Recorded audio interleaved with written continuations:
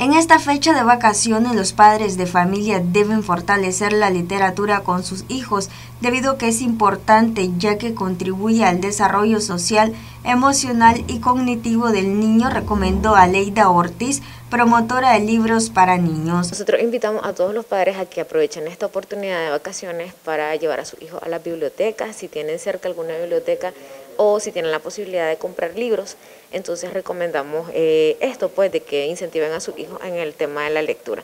Hay una gran variedad de libros, eh, por ejemplo, en nuestros rincones de cuentos, en nuestros espacios de lectura, y pueden encontrar muchos libros interesantes y divertidos. Creo que este es el, tiempo oportuno para pasar en familia.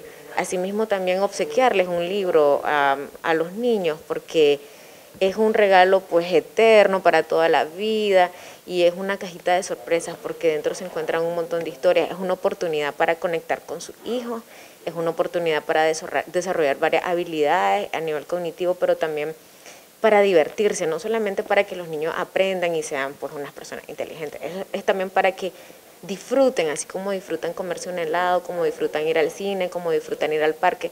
Entonces, eh, plantear un libro desde la perspectiva de diversión y placer eh, es una excelente oportunidad. Ortiz sugirió que entre los libros que deberían leer están los de cuento y algunos alusivos a la Navidad. Hay libros clásicos, un cuento de Navidad, este, Anita la Foforera, por ejemplo, solo por mencionar algunos, El hombrecito de jengibre,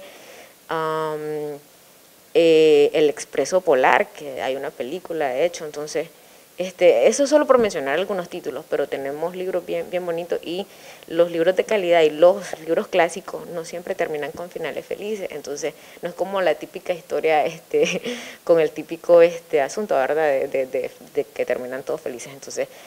Eh, pero es bien bonito pues el hecho de que los niños reflexionen, ¿no? porque los libros a eso nos llevan, a, reflexionar, a desarrollar el pensamiento crítico y, a tener temas de conversación. Los libros son un instrumento detonador al diálogo, entonces es bien bonito porque los niños son eso, son seres pensantes con los que podemos hablar, conversar y, y, podremos irlos formando. Entonces no solamente te voy a contar un cuento porque eso es para niños.